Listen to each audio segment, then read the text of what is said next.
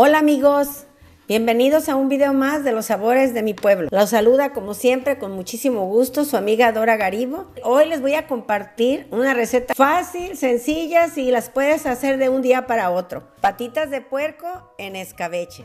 Para esta receta tan deliciosa y tan práctica, vamos a necesitar una cucharada sopera de pimienta gorda. Vamos a ocupar una cucharada sopera también de orégano, una cucharadita cafetera de cominos, una cucharadita cafetera de tomillo, 200 gramos de cebollitas cambray y 9 dientes de ajo, que aquí ya los tengo todos peladitos, 4 hojas de laurel, 8 chiles jalapeños.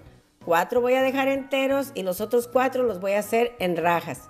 Y aquí también tengo ocho zanahorias pequeñas que ya, ya corté en rebanadas y todo está perfectamente limpio y listo para hacer nuestra receta. Una taza de vinagre blanco y dos tazas de agua. Vamos a colocar en nuestra olla 10 patitas de cerdo. Voy a ocupar tres hojitas de laurel, una media cabecita de ajos, una cucharada sopera de sal, con eso voy a poner a cocer las patitas.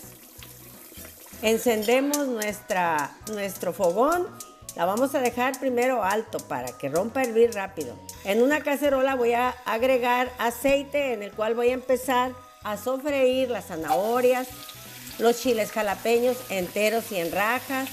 Vamos a colocar las cebollitas cambray y las vamos a mezclar para que se sofrían y enseguida, después de ver que ya los chiles cambiaron de color y todo, vamos a, agregarles el vinagre y el agua. Y enseguida les voy a poner todos los condimentos.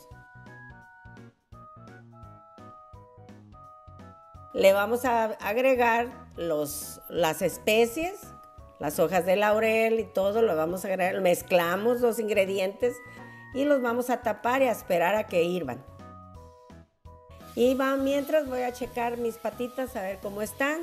Aquí ya están queriendo soltar esa espumita que se hace, se la vamos a retirar. Ya vimos que los chiles ya cambiaron, si se fija, ya cambiaron de color. Esperamos a que se enfríe nuestro escabeche. Y miren, aquí nuestras patitas ya se ven perfectamente cociditas. No se me andaban pasando, están muy bien y aquí las voy a reservar. Al final las voy a acomodar en este traste de plástico donde ya agregué el escabeche y ahí los vamos a dejar. Y miren, al final tenemos nuestro escabeche terminadito, acompañado con unas rebanaditas de aguacate, unas cebollitas y sobre todo nuestra tostada.